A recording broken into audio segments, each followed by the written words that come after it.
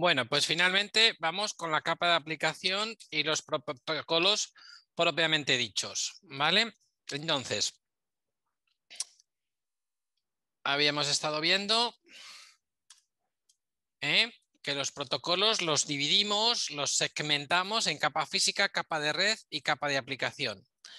La capa física es el acceso al medio propiamente dicho, la capa de red, cómo enrutamos, cómo direccionamos, y la capa de aplicación es el alfabeto o el idioma que habla cada protocolo, ¿vale? Es los comandos, es las letras que forman las palabras, las palabras que forman las oraciones, cómo damos las órdenes, cómo leemos los datos, ¿vale? Eh, bueno, pues los protocolos, además de que estructuran un montón de datos en las capas inferiores, ¿eh? pues en las capas superiores es donde tenemos el detalle de cómo gestionan la información. Vamos con los protocolos propiamente dichos. Ya he hablado de algunos de ellos y bueno, pues voy a ir enumerándolos. El primer protocolo del que os quiero hablar es BACnet. BACnet es un protocolo inventado por la Asociación Americana de Climatización. Es un protocolo muy potente y en gran desarrollo. Yo, desde luego, a día de hoy, es el protocolo que yo más quiero estudiar y aprender. ¿Por qué? Porque, bueno, si lo pensáis, en el sistema de control de un edificio grande, pensar en un centro comercial, pensar en un hotel, pensar en una clínica, pensar en un hospital, el sistema de control de accesos, de CCTV, de iluminación, eso es importante. Pero al final, ¿dónde está la pasta? ¿Dónde se va la pasta? ¿Cuál es la factura más cara? La factura de enfriar o calentar el edificio. Entonces, con BACnet lo inventó la Asociación Americana de Climatización. Es un protocolo que inventaron para controlar las máquinas del clima. El protocolo ha evolucionado con el tiempo y ahora tenemos BACnet con TCP/IP, BACnet por las redes de ordenadores y el bueno, el sistema de control, el protocolo americano de control que se llama Longworks está siendo muy fagocitado por BACnet. Entonces, cada vez más sistemas eh, y más ah, desarrollos y más integraciones están virando al BACnet TCP/IP o integrándose con BACnet TCP/IP. Entonces, es un protocolo muy a tener en cuenta y muy que me gustaría aprender, ¿vale? Es posible que en el curso le dediquemos algo de tiempo. Eh, el BACnet va con bus originalmente, pero a día de hoy lo normal es BACnet bajo TCP/IP. Entonces te compras un dispositivo que controla el clima o que controla lo que sea y lo que tiene es una toma de Ethernet. Y tiene una IP como, si fuera un ordenador. Lo que pasa es que por detrás habrá el protocolo BACnet, ¿vale? Por razones históricas. Modbus. Bueno, pues Modbus yo hasta hace muy pocos años no tenía ni idea de Modbus, pero me contrataron aquí en un mayorista de material eléctrico eh, para dar una formación aquí en Asturias y, bueno, pues allí conocí al dueño y a los ingenieros y a los técnicos y realmente me di cuenta que la empresa se dividía en dos, los que sabían Modbus y los que no. Modbus es un protocolo de control industrial muy sencillo, inventado en los años 60 que corre sobre RS485 a tres hilos con conectores muy sencillos que podemos hacer por par trenzado hasta 1200 metros y de puro simple ha llegado hasta nuestros días, ¿vale? Vale que tiene problemas de que no se puede enrutar, vale que tiene problemas de seguridad, si tú pinchas en el, en el, en el bus, Modbus, mm, puedes hablarle al, al dispositivo, vale que tiene muchas carencias, pero tiene muchas virtudes, ¿vale? A día de hoy también es muy habitual encontrar el Modbus sobre TCP/IP, y hay muchísimos fabricantes que venden el modelo Modbus RS485 clásico y el modelo Modbus sobre TCP/IP. Entonces, pues también es un protocolo a tener en cuenta y a conocer y pues que puede abrirte muchos caminos. En, Aquí en Asturias, por ejemplo, hemos hecho la casa solar que funciona sin sol, que se llama Santalpi, la casa de baja entalpía está en Oviedo, está funcionando. Todo el sistema de control lo hemos hecho nosotros y al final una parte del sistema de control con, em, con todas las eh, máquinas de aerotermia y para el suelo radiante y todo eso, que son de Valiant, para poder integrarse en el sistema de control hemos tenido que pedir las tablas y lo hemos hecho por Modbus y lo hemos podido hacer, ¿vale? Entonces, la, persona que hizo la integración conmigo Yo simplemente le expliqué los conceptos del Modbus, maestro, esclavo, eh, tablas de memoria, los 16 comandos que hay, poco más. Nos buscamos una librería en Python, nos, me compré por Amazon un pincho USB para tener conexión al ordenador con las tres bornas, nos pinchamos al, al Modbus y teníamos todo controlado. Es verdad que son cientos de parámetros, pero si uno sabe lo que quiere hacer, es sencillo. Entonces, pues eh, Modbus es otro protocolo a tener en cuenta. A principio del curso me preguntabais algunos de vosotros sobre la empleabilidad, etcétera, etcétera, etcétera. Yo desde luego, una persona que se dé de saber sistemas de control y me ponga en el currículum experiencia o conocimientos de Backnet y de Modbus, ya me quito todos los sombreros. Tú sabes y yo creo que mejora mucho tu empleabilidad, ¿vale? Así que son dos protocolos que hay que conocer. Bueno, aquí traigo otro protocolo más que se llama MBus. Es un protocolo de origen francés y este protocolo se utiliza sobre todo para mm, hacer lecturas en remoto de los contadores, ¿vale? En países como Francia, Alemania, sobre todo en Europa, eh, muchas compañías desarrollaron este protocolo MBus para mm, poder hacer lectura remota de contadores. Eh, está bastante obsoleto y es bastante residual. Y lo traigo aquí solo por una razón, por la gloria de mi madre. Se llaman casi igual, pero se parecen como un huevo o una castaña. Por favor, no confundáis Modbus con MBus, ¿vale? Repito una vez más, Modbus, control industrial, ya ha llegado hasta nuestros días y lo que le queda muy interesante, estudiarlo, conocerlo, saberlo manejar, tener cierta idea, Modbus TCP, Modbus RS485 o RTU, ¿vale? MBus está muerto. Lo utilizaban en Francia y en Alemania para leer contadores, pero no lo mezcléis, ¿vale? Esta transparencia la hice porque leí en alguna página web y en dos o tres textos que mezclaban MBus con Modbus. No, error. ¿eh? Chiquillo que yo hice un cursillo. El que me, me confunda MBus con Modbus, suspenso. ¿Entendido? Lo repito una vez más. Bueno, DALI. DALI que no DALI. DALI es la abreviatura de Digital Addressable Lighting Interface. ¿eh? Interfaz de iluminación de direccionamiento digital. Bueno, en Europa la industria de la tecnología está muerta, no nos queda nada. Teníamos Nokia, teníamos Ericsson, y solo queda un reducto irreductible, Philips. DALI es un invento de Philips. ¿Y por qué? ¿Por qué ha salvado Philips los muebles y por qué sigue siendo un líder europeo y líder mundial? Pues Philips hizo una cosa muy bien. Philips fabricaba televisores y Philips fabricaba móviles y fabricaba vídeos y fabricaba un montón de cosas. Bueno, sigue fabricando televisores. Pero la mayoría de sus divisiones las ha quitado y se ha centrado en iluminación, que es lo que siempre hicieron muy bien. En Indoven, no sé si sabéis, el PSV Indoven es el equipo de fútbol de la Philips, el equipo de fútbol de la empresa. Bueno, pues hace muchos años Philips inventó un protocolo de control de luminarias para grandes edificios y lo llamó DALI, Digital Addressable Lighting Interface. Esto se ha convertido en el estándar del mercado. A día de hoy, prácticamente todos los fabricantes de luminarias, desde Orran, los chinos, todo el mundo, fabrica dispositivos compatibles DALI, ¿vale? Entonces, está bien saberlo, está bien conocerlo. Eh, ahora mismo vamos por la especificación DALI 2, que, la, que permite lo explicaba un poco antes, eh, la pasarela más vendida del mundo es la DALI KNX, porque hay muchas cosas que con el DALI 1.0 no se puede hacer, no se pueden poner sensores de movimiento, no se pueden poner botoneras bonitas, no se pueden hacer, bueno, con el DALI 2 se puede hacer, ¿vale? Razones del éxito del DALI. Vamos a ver, el DALI es el protocolo más lento que, yo conozco, va a 1200 bits por segundo, todavía más lento de los 9600, pero con un cable, con una manguera a 5 hilos, puedo coser todas las luminarias. Si yo mañana tengo que hacer el hipercore, o tengo que hacer el Mercadona, o tengo que hacer las luminarias de la Ahorra Más, ¿eh, Ángel? Y tengo miles y miles de metros cuadrados de luminarias que tirar, yo voy cosiendo con la manguera de tres hilos, fase neutro y tierra, fase neutro y tierra. Bueno, con el DALI simplemente tengo que meter dos hilos más, que son dos hilos de uno y medio.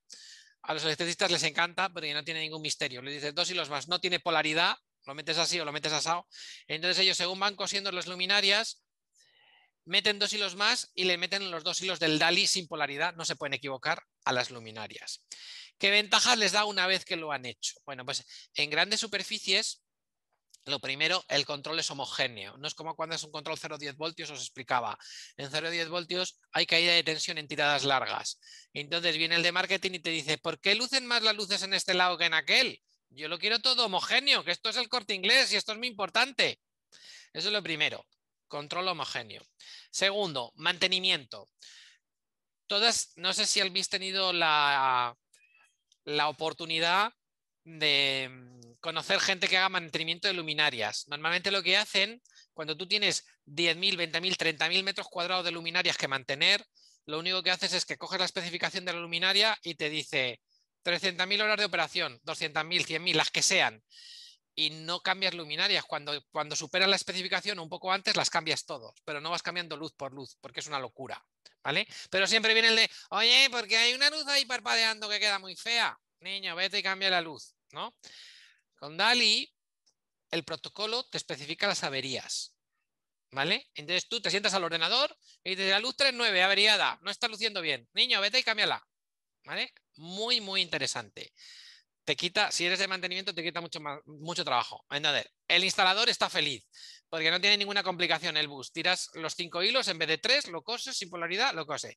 El de mantenimiento está feliz. Pero es que el de mantenimiento está súper feliz porque a día de hoy tanto en, sobre todo en edificios de uso no residencial, con luminarias en techo Armstrong, como el que tenemos aquí. Eh, lo habitual es tener oficinas lo que se llama open space, espacio abierto con mesas, con despachos que cambian. O en un centro comercial puedes tener que mañana hay una oferta de marketing, pasado hacen un corner, al otro lado, al otro hay un evento. Las luminarias DALI con el protocolo DALI te permiten reconfigurar los grupos sin tocar el cableado. ¿eh? Las puedes ir agrupando y puedes regularlas. Entonces, que ahora hay un despacho, ¿vale? Hago una agrupación nueva, le pongo el interruptor, hecho, pero no tengo que tocar el cableado. ¿Vale? Entonces, eso les gusta un montón. Entonces, sumado todos estos factores de facilidad de uso, de reporte de averías y de gestión dinámica de la instalación por grupos, fue, ha sido un grandísimo éxito. ¿Vale? Entonces, DALI es a día de hoy un monocultivo en iluminación de, edificios de, uso no residencial. En los pliegos ya ni se molestan, ni lo tapan, no te dicen sistema de gestión de iluminación, no, pone que quieren DALI y punto. Y todas, todas, todos los fabricantes tienen sistema DALI. ¿De acuerdo? ¿Conocíais el sistema DALI? ¿Habéis oído hablar de él? ¿Tú habías oído hablar de él? ¿Sí? ¿Alguien más? Entonces, bueno, mm, de nuevo, ah, merece la pena tocarlo, merece la pena conocerlo, no tiene gran ciencia. Las cabeceras DALI, pues nada, tienen, conectas el bus y suelen tener una interfaz Ethernet. Una cosa que me encanta del DALI es que en general todas las luminarias DALI vienen con una dirección de fábrica, o sea, no hay que direccionarlas, pero luego la cabecera les asigna una dirección corta. De nuevo, menos problemas. O sea, viene con una dirección que es un chorizo así de largo que no hay quien se aprenda, pero tú le das al botón y dice, venga, asigna direcciones cortas. Y le graba la 8, la 9, la 10, la 11, la 12. Eso sin tocar un solo botón. Es una maravilla. Entonces, bueno, sumado todo, pues hace que guste mucho y que tenga mucha, mucha popularidad. Entonces, si os vais a dedicar a los sistemas de control de edificios, especialmente de uso no residencial, DALI hay que conocerlo. Mm, yo no he tenido la oportunidad de programarlo, pero por las cosas que he hablado y por las cosas que sé de colegas, no tiene gran ciencia y realmente merece la pena. Dalí, que no Dalí, que era un estupendo pintor, ¿vale? DMX, DMX, no confundir con BMX, que eso es lo de las bicis, lo de las bicis para hacer acrobacias, ¿vale? DMX, bueno, DMX es un protocolo que se utiliza sobre todo en en espectáculos, en teatros, en platos de televisión, en orquestas, en sistemas de iluminación ah, para, bueno, pues todos estos ah, cañones de luz con luces, con cosas que giran, utilizan el protocolo DMX. Si os fijáis ahora mismo en las fiestas de Prado, estas que ahora no hay, pero volverán, os lo prometo que volverán, que llegan con el camión y despliegan el camión y tiran unos cables por el medio del Prado y se pone ahí el de la mesa de mezclas, ¿eh? pum, pum, pum, pum, y abre un ordenador. Pues creerme que todas las canciones las trae programadas en DMX y según avanza la canción van dando las órdenes a todos los dispositivos, a todas las luces, toda la psicodelia, todos los cañones, todo ese sincronismo, todo eso viene preprogramado y hay unos software para hacerlo en función de la canción. El despliegue más alucinante de DMX que se hace en el mundo es el Festival de Eurovisión. El Festival de Eurovisión es una locura, son treinta y tantas canciones, con un despliegue audiovisual alucinante, con una coordinación de música, sonido, pirotecnia, etcétera, etcétera. Y bueno, pues todos los años algunos pirados nos dedicamos a leer el despliegue de Eurovisión que puede tener miles de nodos de terminales de MX.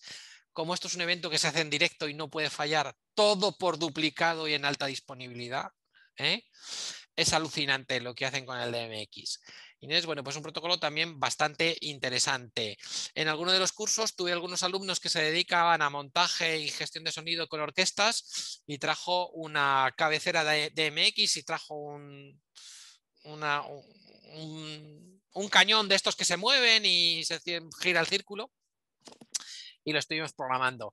Aquí en Asturias conozco dos o tres ayuntamientos que tienen un cañón de proyección de luz sobre la fachada del ayuntamiento con, música y con giro.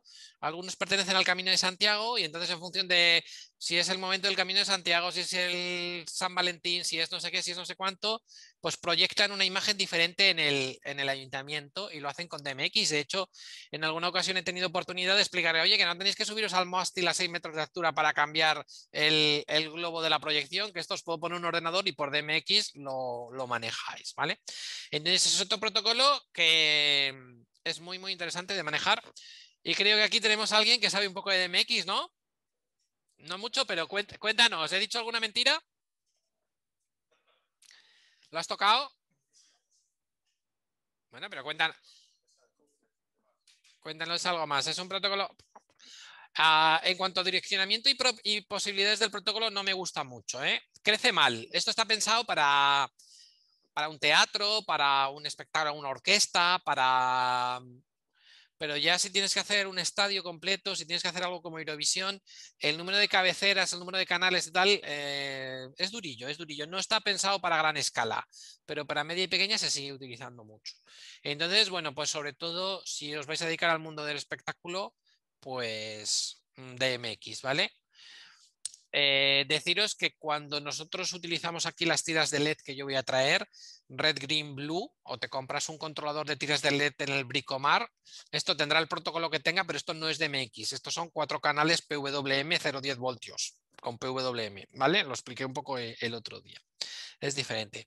Bueno, ¿algo que añadir del DMX o paso a lo siguiente? Bueno, y ya entramos en los protocolos de control propiamente dicho, KNX, Longworth, Busing y Loxone. Bueno, KNX es el protocolo de los sistemas de control por antonomasia.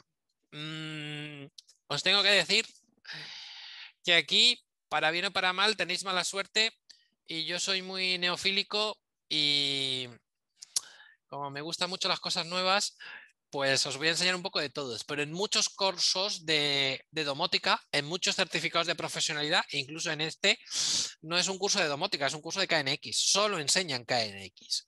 ¿Cuál es la historia del KNX? Bueno, pues en, Europa había una heterogeneidad de protocolos, eh, sobre todo estaba el EIB que venía de, Alemania y el Batibus que venía de Francia, ¿no? Bâtiment significa edificio en francés, el Batibus, y por fin a principios mediados de los 90 se unieron e hicieron el estándar EIB Conex. A día de hoy todavía lo veréis en muchos sitios el EIB Conex, pero bueno, pues eh, nos eh, emplazan siempre desde KNX a que lo llamemos solo KNX. Es el estándar por antonomasia, respaldado por los grandes fabricantes. ¿Y quiénes son los grandes fabricantes? Schneider Electric, Siemens, ABB, todas las manos fuertes en Europa del control y de la electricidad respaldan ampliamente el KNX, ¿vale? Tiene un origen alemán y francés muy, muy fuerte. ¿Cuál es el problema del KNX? Pues que es difícil de programar, que necesitas un software especial con licencia, que necesitas hacer los cursos, hay que hacer el curso del partner, luego el advance y luego el tutor. Y en algunos conceptos, como es anterior, como viene de los años 90, se ha quedado un poco atrás en conceptos de o le ha costado adaptarse, no digo que se haya quedado atrás, pero en conceptos de seguridad, de adaptación a la nube, de adaptación al TCP/IP, de sistemas multimedia, etcétera, etcétera, mismo de asistentes vocales, eh, bueno, pues le, está costando. Pero KNX es el rey, ¿vale? Yo cuando monté la empresa Domótica Da Vinci en el 2008 y llegó la crisis, pues me di cuenta que todos los que tenían algo que decir en el mundo del control, pues era KNX. Para bien o para mal, aquí traeré los equipos KNX y os los enseñaré y los programaremos. Y, bueno, pues eh, poco más que decir. Pero me niego a que un curso de domótica sea solo un curso de KNX. Es el rey, hay que conocerlo, hay que manejarlo, no hay ningún problema, pero hay más vida más allá del KNX. Como en todas estas cosas del mundo mundial actual, la contraparte del KNX en Estados Unidos es Longworks, como he dicho antes, muy fagocitado a día de hoy por Backnet. Em, en Estados Unidos, en Latinoamérica y en gran parte de Asia, el estándar por antonomasia en sistemas de control de edificios es Longworks, ¿eh? respaldado por grandes fabricantes como puede ser Honeywell, Johnson Controls, los grandes fabricantes americanos. Eh, el Longworks como protocolo me gusta más que el KNX, tiene cosas muy interesantes, más velocidad, los nodos vienen direccionados, se puede hacer un bucle. Eh, la mayoría de los grandes fabricantes te ofrecen los dispositivos en las dos versiones. Schneider Electric, eh, ABB, Siemens, te dan el sabor KNX Longworks, tú lo eliges, ¿vale? Lo que no me gusta del Longworks es que no hay un solo software para programarlo y hay una falta de homogeneidad, ¿vale? Aquí en Europa la KNX.org, la organización KNX con sede en Bruselas, tiene una mano muy fuerte y homogeniza el único software para programación, con Longworks no. Entonces, bueno, pues eso es lo que os puedo decir. Longworks yo solo conozco un fabricante aquí en España, una empresa de Madrid que se llama ISDE, y he tocado y he hecho los cursos con ellos, pero no he conseguido vender ningún proyecto. Bueno, y en la misma línea de los sistemas domóticos, de los protocolos domóticos ah, en bus, cableados, adecuados para grandes proyectos, pero que requieren una cierta planificación preliminar, pues tendríamos los sistemas propietarios. Aquí hay dos, Busing de Ingenium, Asturianos y Loxone. El sistema busing de Ingenium asturiano es un sistema propietario y bueno, lo que ocurrió aquí es que cuando los fundadores de, Ingenium, Ana y Pedro, decidieron establecer su propio sistema domótico, vieron lo que había en el mercado, que había X10, que había KNX, y decidieron montar su propio sistema y montaron Busing al final cuando lo he estudiado a fondo no deja de ser una suerte de Modbus mejorado, voy a decir, ¿vale? Maestro esclavo, pero los esclavos pueden hablar cuando quieran, pero es un Modbus, al final es un Modbus. Y bueno, pues tuvieron sus años y su recorrido. Busing Ingenium se pasaron un montón de años, bueno, esto está grabado, pero va a quedar así grabado, diciendo que era mejor que el KNX, pero bueno, al final se han tenido que bajar un poco del burro y fabricar también según el estándar. Y Busing también fabrica ahora una gama que tiene que se llama BEST que es compatible con KNX. Bueno, para bien o para mal, eh, además de traer y practicaremos dispositivos ah, KNX, pues traeremos Busing de Ingenium, ¿vale? Y os enseñaré los dos, ya lo veréis que, bueno, cada uno tiene sus matices y el Busing lo que tiene una cosa muy buena es que como es un protocolo que se inventó después y tal, pues es muy, muy fácil de programar, es muy sencillo de programar. Y finalmente traigo a vuestras vidas Loxone, Loxone es una plataforma que inventaron en Austria, más o menos en el año 2012. Les tengo mucha envidia porque ellos empezaron la empresa más o menos cuando yo. Ellos son una empresa enorme y yo sigo aquí dando clase. Pero bueno, ¿qué le vamos a hacer? Loxone eh, es un protocolo propietario. Inventaron una cabecera y un protocolo propietario que lo llaman Link. También tiene una versión que se llama Tree y es bastante interesante. Luego, bueno, han sacado la cabecera compatible con KNX, también compatible con Enocean. O sea, se han ido compatibilizando con un montón de cosas. Pero de los sistemas propietarios que hay en Europa, que hay un montón, por ejemplo, hay uno en Bélgica que se llama Teletask y otros. El único que realmente me merece la pena es Loxone. En general, huyo con todas mis fuerzas de los sistemas propietarios. Los sistemas propietarios tienen un problemón y es que si mañana Busing cierra, se te caen todos los palos del sombraje. Si mañana Loxone en Austria cierra, vamos mal. Sin embargo, si por lo que sea ABB o Schneider decide discontinuar su gama KNX, no pasa nada. Hay otros 25 fabricantes y con Loxone lo mismo, ¿vale? No pasa absolutamente nada y eso no va a pasar. Pero bueno, Tengo que reconocer que en general el Loxone hicieron un gran trabajo, también un gran trabajo de marketing y comunicación con el tema de la domótica y particularmente aquí lo cogieron unos catalanes y han hecho un gran trabajo de marketing y comunicación y lo están haciendo muy bien. Y el sistema es lo suficientemente importante y cada, cada día veo más colegas que hacen instalaciones o que hacían instalaciones de KNX y que ahora las hacen con Loxone, con una pata KNX a veces y están muy contentos. El sistema es muy sólido, funciona muy bien. Así que os hablo del protocolo Loxone. ¿eh? Eh, por primera vez en un curso he comprado una cabecera Loxone y la traeré y la, y la tocaremos. ¿vale? Frente a los protocolos en bus que os deberían de ir sonando, eh, KNX, Longworks, Backnet, Busing de Ingenium, Loxone, están los protocolos vía radio. Aquí si en vía bus hay muchísimos y me quedo solo con esos cuatro, en vía radio hay tantos como queráis. Pero repito, a mí los protocolos propietarios no me gustan y entonces yo aplico el filtro de protocolos que sean multifabricante, que estén estandarizados y que tenga muchas opciones que no dependan de una sola empresa. A día de hoy en este reino el protocolo REI es Z-Wave, tenéis delante de vosotros a Mr. Z-Wave España. Entonces, como os dije, yo cuando monté la empresa en el 2008, pues me di cuenta que los que partían el bacalao eran los del KNX. Yo necesitaba buscar una alternativa y a partir del año 2012 monté una tienda online y empezamos a vender equipos Z-Wave, traer equipos Z-Wave, ¿vale? Z-Wave es el líder. Hablamos a día de hoy de más de 3.000 productos homologados, más de 800 fabricantes en el mundo y un gran caso de éxito de domótica democrática y domótica radio. Contra el Z-Wave la alternativa es el Zigbee y el Zigbee realmente ah, ha pasado una cosa y es que el Z-Wave era el líder o es el líder, pero no ha conseguido realmente no ha conseguido asentar su liderazgo. Y a día de hoy la mayoría de las cosas que nos están llegando en este escenario de pandemia son dispositivos Zigbee. Zigbee son es la domótica del IKEA. Zigbee es la domótica de Philips. Os hablaba antes de Dali. Eh, Philips eh, fue pionero. Lanzaron las luces Philips UE, escrito HUE, muy populares. Funcionan con Zigbee. Y ya Zigbee es hasta la domótica que venden en el Lidl. No sé si habéis visto en el Lidl que han lanzado una domótica con bombillas, con tiras de LED, con enchufes, con un controlador. Todo eso es Zigbee. Zigbee hasta ahora no mantenía el liderazgo porque funciona en la banda del 2,4 GHz, en la misma banda del Wi-Fi, como os dije, y había muchos problemas de compatibilidad que os iré explicando poco a poco. Desde la especificación Zigbee 3.0, pues ah, la verdad es que ha tomado mucha popularidad.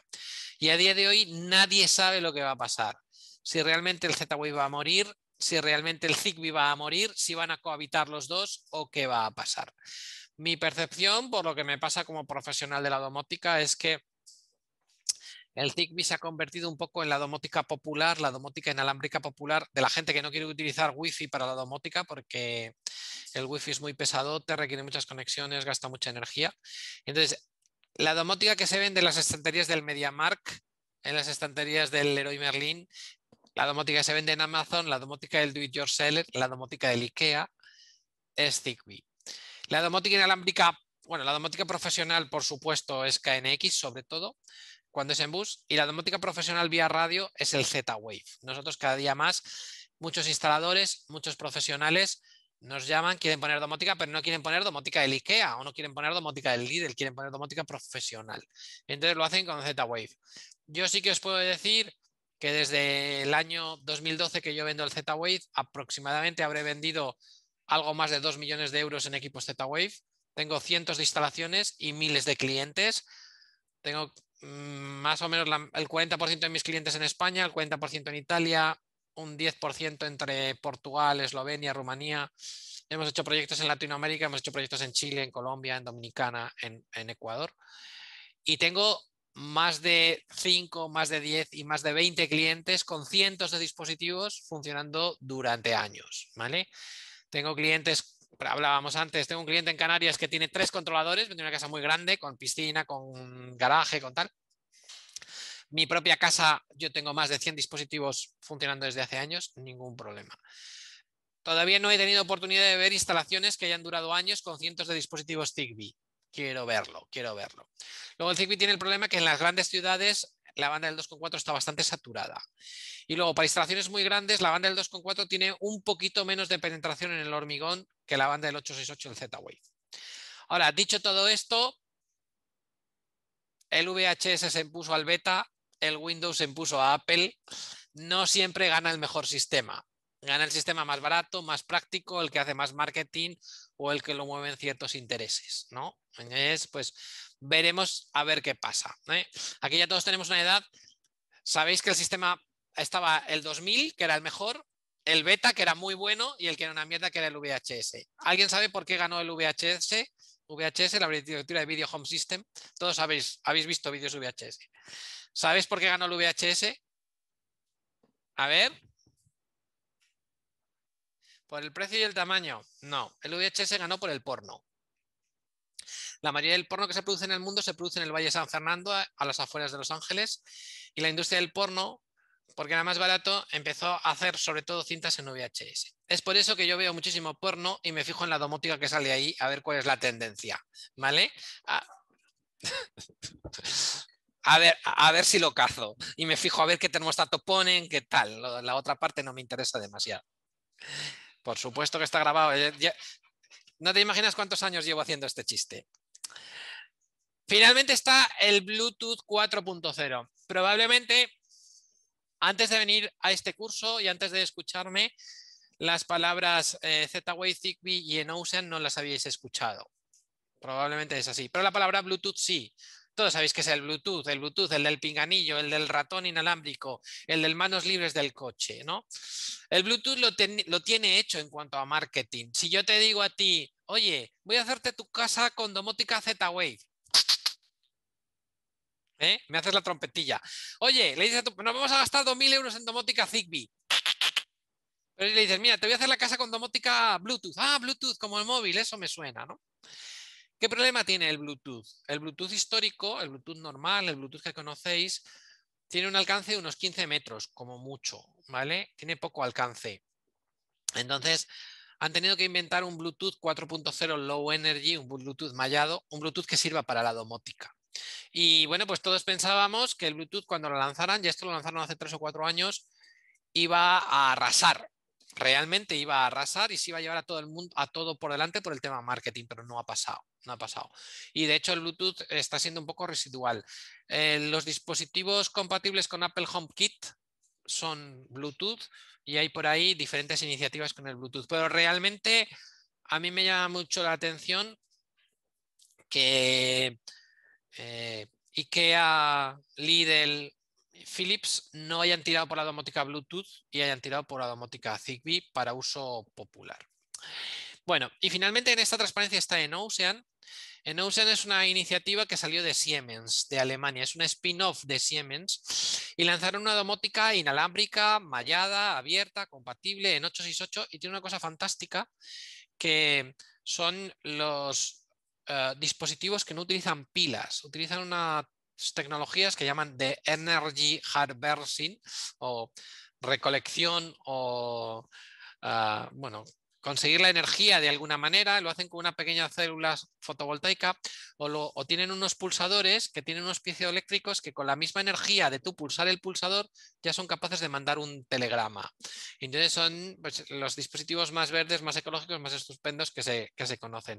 Realmente están muy bien. El problema que tienen es que son un poquito más caros que los del Z-Wave y no han conseguido mucha popularidad fuera de Europa. ¿vale? Os los enseñaré también.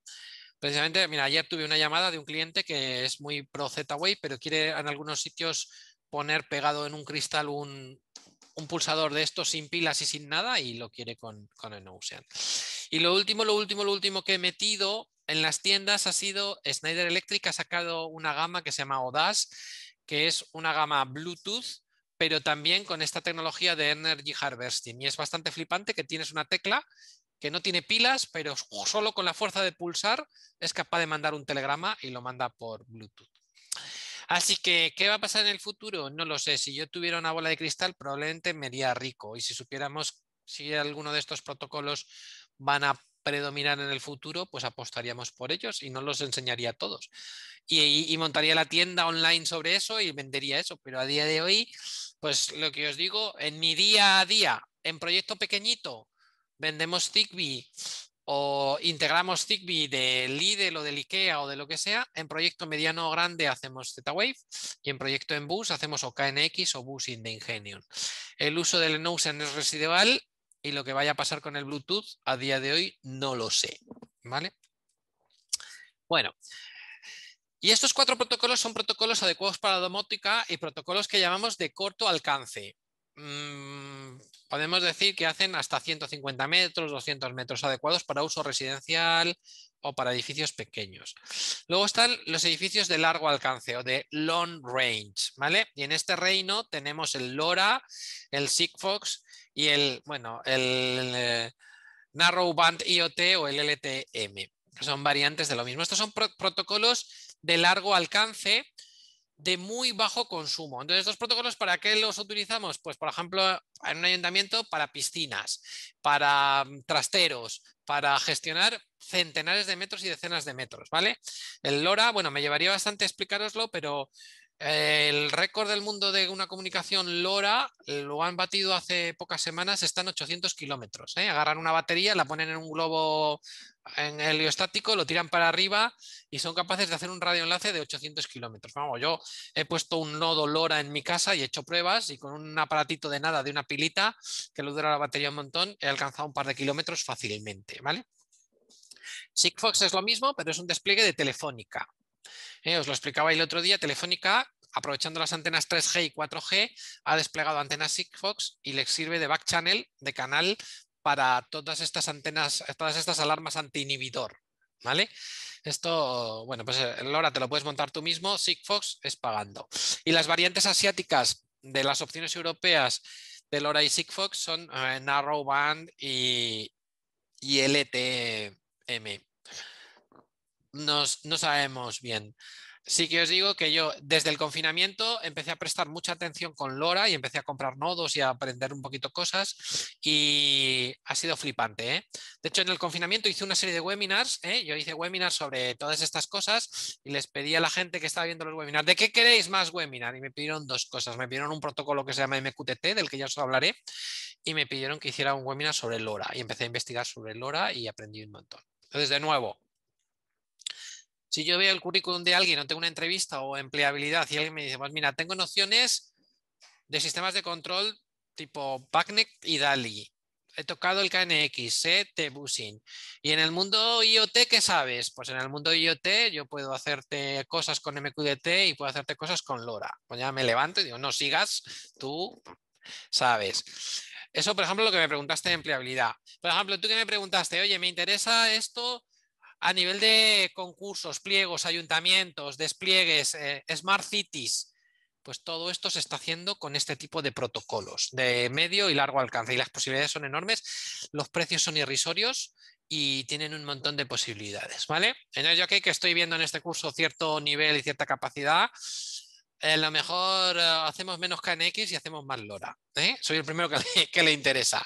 Entre otras cosas, porque si en un curso normal hacer todo el KNX me lleva 10, estoy viendo que aquí me va a llevar 5, porque lo vais a pillar a toda velocidad. ¿vale? Entonces, pues nada, hacemos LoRa. No tengo problema, ¿eh? veremos. Bueno, por ir terminando hoy, no me enrollo mucho más. en ocasiones los protocolos a nivel de capa de aplicación definen todo, pero ah, a, nivel de capas inferiores lo definen y a veces no. Bueno, y hay pasarelas. Bueno, aquí lo explico un poco. Por ejemplo, el Bluetooth que he explicado antes, el Bluetooth Smart, este, el Bluetooth Low Energy, define todo a nivel de capa de aplicación, a nivel de capa de red y a nivel de capa física. En el Z-Wave pasa igual y nunca ha habido problemas de incompatibilidades. Con el Zigbee, por ejemplo, lo que les ha pasado es que a nivel de capa física utilizan el 802.15.4. Los que sepáis un poco, por ejemplo, el Wi-Fi lo define el 802.11, 11A, B, C, D, F, G. A nivel de capa de red es flipante, es el protocolo que más me gusta, el Zigbee, pero a nivel de capa de aplicación te permiten hacer un poco lo que quieras. Y eso ha hecho que muchos fabricantes han hecho soluciones Zigbee, pero propietarias. Y no había integración. Y gente como yo, y en mi docencia así lo hago, Tú puedes hacer lo que quieras, pero soluciones eh, propietarias yo no quiero. Hay un sistema del País Vasco, por ejemplo, que se llama Batio, maravilloso, estupendo, se vende en el Merlin, es Zigbee, pero claro, por mucho Zigbee que sea, Batio nace con Batio y muere con Batio. Solo puedes poner dispositivos Batio. Yo muchos clientes digo, pero si es Zigbee, ¿lo puedo integrar? No, no puedo. Y yo eh, los he visto en las ferias y hablo con ellos, digo, por favor, si hacéis Zigbee, pasaros a la especificación 3.0 y hacerlo compatible. O me encantaría que el sistema Batio, con la plataforma que tiene, con los dispositivos que tiene, que son estupendos, los hicieran compatibles con Z-Wave. ¿Por qué no? Se lo dije una y mil veces, no me quisieron hacer caso, lo siento. Lo siento por ellos. Bueno, lo siento por mí porque ni lo vendo, ni lo enseño en los cursos, ni tengo mayor interés de traeros y enseñaros. Por ahí un sistema propietario o es tan popular y tan bueno como Loxone o no tengo ningún interés, ¿vale? Entonces, pasarelas, pues por ejemplo, aquí tenéis una pasarela, un equipo que te hace de pasarela entre Modbus y DALI. Si yo tengo desplegado un sistema Modbus en una nave para gestionar un montón de cosas y las luminarias son DALI, pues pongo esta pasarela y lo puedo hacer. La pasarela más vendida del mundo, pasarela KNX a DALI. ¿eh? Aquí veis, esta es el alimenta aquí, fase y neutro, bornas 3 y 4. Por arriba los dos cablecitos del DALI y aquí el típico conector KNX. Esta es la pasarela más vendida del mundo. Entonces esto es muy, muy habitual que en un edificio tengáis un sistema de iluminación por DALI, pero luego todo el control del edificio y todos los pulsadores sean por KNX y por eso hay que poner esta pasarela, ¿vale? Por ejemplo, pues Busing de Ingenium tiene su pasarela. Este es el típico bus, el bus de Busing, cable rojo, amarillo, verde, da datos y cable ref. ¿Vale? Aquí tenéis, bueno, esta es TCP/IP además y aquí tenéis el típico conector ah, KNX, ¿vale? Pero como venía diciendo antes, al final del día todos, absolutamente todos los protocolos que se precien, todas las instalaciones, al final todas las instalaciones que se precien, ¿qué queremos? Conectarlas a Internet y manejarlas desde, sitio, desde cualquier sitio del mundo, poder agregar los edificios, poder juntar todos los edificios, poder hacer un campus, poder hacer una Smart City, poder tener controladas todas mis cafeterías, todos mis McDonald's en franquicia, todas mis tiendas de Zara. Les pongas lo que pongas, al final todo el mundo abre, habla la madre de todos los protocolos que tenemos en nuestro tiempo, el protocolo TCP/IP. Por eso es el primer protocolo que explico en todo detalle a partir de mañana. Redes de ordenadores. ¿Vale? Hay que saber perfectamente buscar una IP en una red, buscar una MAC, la diferencia entre la máscara, el gateway, etcétera, etcétera. Entonces, bueno, pues el TCP/IP se ha convertido en el idioma común. Al final todo lo conectamos a Internet. Entonces, eh, yo prácticamente si traigo el sistema busing me interesan las pantallas que tienen Wi-Fi y que me lo conectan a Internet y a la nube. Si traigo el KNX tráeme las pasarelas TCP/IP. Y casi es lo primero que explico, porque es que es lo que más me interesa. Lo demás, bueno, está muy bien, pero bueno, el maestro, ¿eh? si viviéramos en la Edad Media, probablemente seríamos más en Commander si domináramos la ruta de las especies, la seda y porque era lo que mandaba en aquella época. Por los que mandan en nuestro tiempo, ¿quiénes son? Los que dominan el TCP/IP, los que dominan el Google, los que dominan el Facebook los que dominan las redes de ordenadores. ¿No os fijáis que a día de hoy, cada vez que hay un gobierno que da un golpe de Estado, lo primero que hace es capar Internet? Y no habéis visto la pintada de las incidencias de, Turquía que me encanta, que ponía 888, ponían el DNS a la gente porque el gobierno había capado los DNS. Entonces, el que sabe TCP/IP hoy por hoy tiene mucha ventaja y el que sabe TCP/IP e integrar otros protocolos tiene mucha ventaja. Al final, Economic UTT que os lo explicaré, convergemos a que a nivel de campo va a haber ciertos protocolos, pero al final todo va a estar conectado a Internet y todo, ese proyector, este ventilador, un, un extintor, cualquier cosa, un coche, todo va a estar conectado por TCP/IP y es lo que hay que dominar. Bueno, entonces, pues, eh, pues, pues, pues, pues, ¿qué hora tengo? 8 y 25. Ups, dejo de compartir.